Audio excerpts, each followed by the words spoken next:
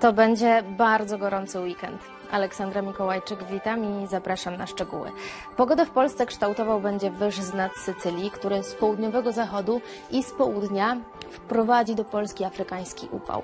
A że w całym kraju słońca na pewno nie będzie brakowało, to odczuwalnie w słońcu temperatura może być trudna do zniesienia. Dlatego, drodzy Państwo, kremy z filtrem, dużo wody i jakoś to przetrwamy. W ciągu dnia termometry pokażą od 27 do 29 stopni na krańcach wschodnich, przez 30-32 w pasie środkowym do 35 stopni na zachodzie.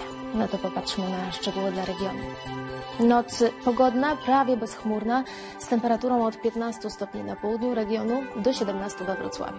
Poranek bardzo ładny, dużo słońca, padać się na pewno nie będzie i tak do wieczora. W najcieplejszym momencie dnia na termometrach zobaczymy od 28 stopni w Kłodzku do 34 w Legnicy i we Wrocławiu.